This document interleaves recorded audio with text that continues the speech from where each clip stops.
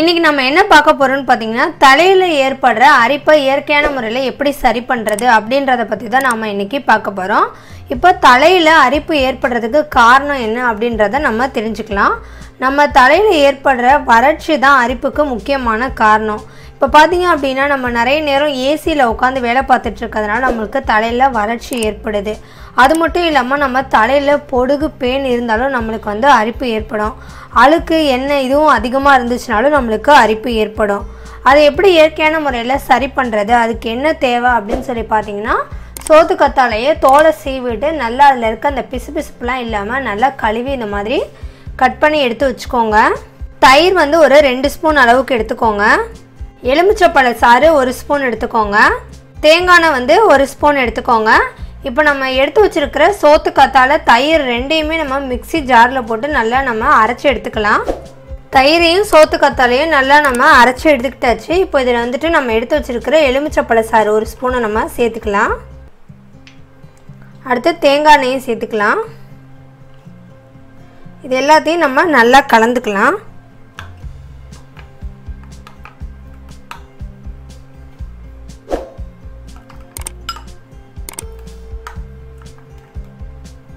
இது என்ன பண்ணணும்னு பார்த்தீங்கன்னா நம்ம தலையில் நல்லா நம்ம ஸ்கல்ப்பில் படுற மாதிரி நல்லா அப்ளை பண்ணிவிட்டு ஹாஃப் அன் ஹவர் நம்ம நல்லா ஊற வச்சிடணும்.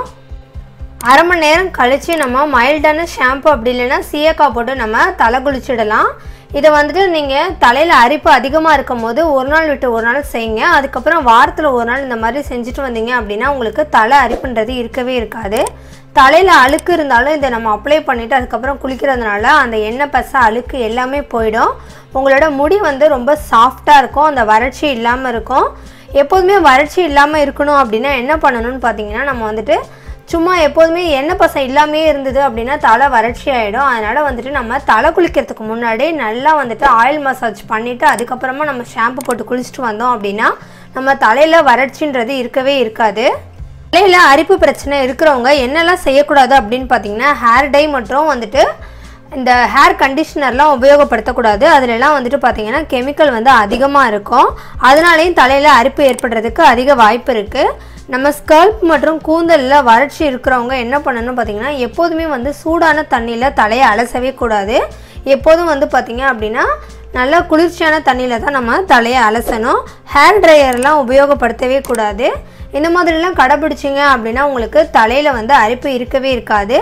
இந்த சோத்துக்காத்தால தயிர் லெமன் ஜூஸ் தேங்காய் எண்ணெய் இதெல்லாம் கலந்து நம்ம தடவுறதுனால பொடுகு பெயின் வறட்சி அரிப்பு இது எல்லாமே சரியாக போயிடும் இதை உபயோகப்படுத்துறதுனால எந்த விதமான சைடு எஃபெக்ட்டும் நம்மளுக்கு இருக்காது. முடியும் கொட்டாது. முடி நல்லா ஆரோக்கியமாக வளரும். இதை செஞ்சு ட்ரை பண்ணி பாருங்கள் இந்த வீடியோ உங்களுக்கு பிடிச்சிருந்ததுன்னா லைக் பண்ணுங்கள் ஷேர் பண்ணுங்கள் கமெண்ட்ஸ் பண்ணுங்கள் மேலும் இது போன்ற வீடியோக்களை தெரிஞ்சுக்க நம்மளோட சேனலை சப்ஸ்கிரைப் பண்ணுங்கள் நன்றி.